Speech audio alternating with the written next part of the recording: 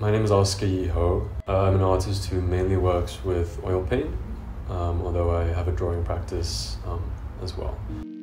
My art practice is heavily influenced by my own um, experience as being part of um, the Chinese diaspora. So I was born in Liverpool, UK, uh, but my parents are from the south of China and they immigrated to the UK in the 90s. And although my parents tried to take me to Chinese school, it was a failure. And so I can't really read or write Chinese um, or speak Chinese that well. Um, and so I have a very estranged relationship to the Chinese language. Um, and there's a certain familiarity with the Chinese language and the way it looks and other kind of parts of Chinese visual culture, certain symbols, for example, that seem really familiar, but at the same time are very alien and very estranged. And so a large part of my practice is kind of reckoning with that. For this show at T293, there's one self portrait I've done, and the others are portraits, I guess, of birds. And I use the bird symbol a lot because my given name in Chinese. In Cantonese, it's Yat Ming. Um, I probably butchered that.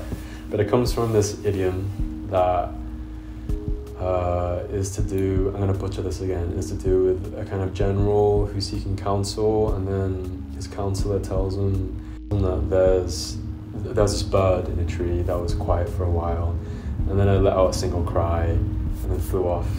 I was like, that was amazing, or whatever.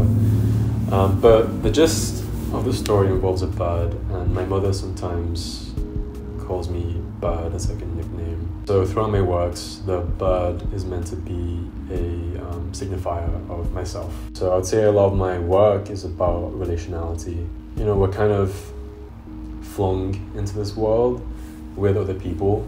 Other people kind of constitute who we are. All I'm trying to do is represent um, how I've lived with other people. And so in a lot of my works that depict other people, that be signifiers of myself. So that's why I use a bird often as a signifier.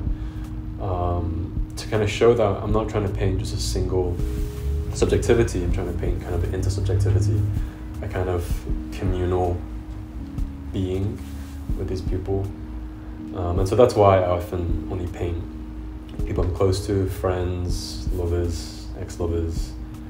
Um, type of thing. I think what I'm trying to do is just to stand testament to having lived this particular life. For this body of work at T293, um, the text works are poems that I write. Sometimes they're pre planned, sometimes they're spontaneous, and I essentially write the poems in English and then I bury it by um, treating the text in a particular way that kind of obscures the actual text, the actual legibility of the text, and so you get a kind of illegible poem.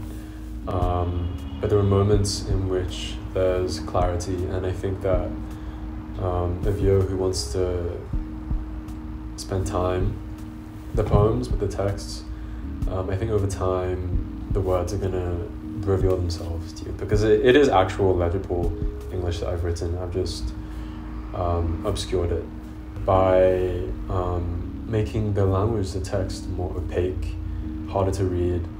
Um, a kind of poem or artwork that requires the viewer to spend longer than just like 10 seconds with the piece to really study the piece.